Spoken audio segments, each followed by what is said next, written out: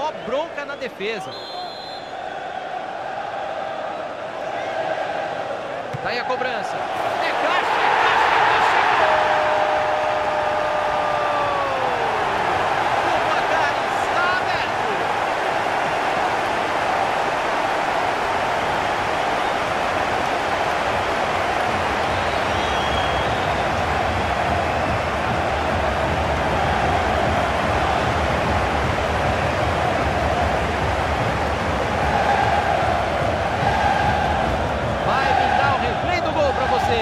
A bola parada dele já tirou o time de muito sufoco.